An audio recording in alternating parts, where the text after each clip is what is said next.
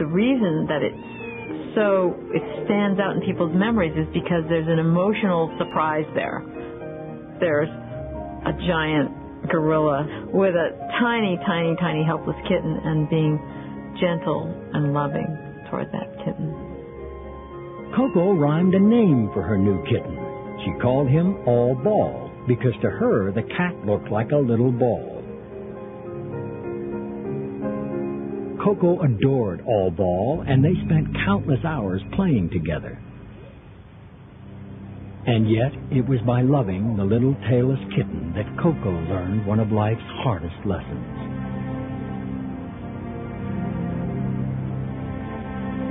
One evening, All Ball was tragically killed on a nearby logging road.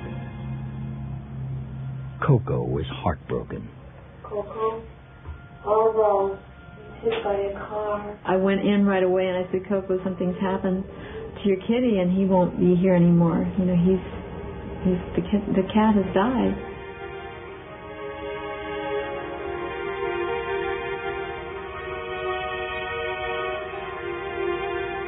Penny stayed with Koko to comfort her.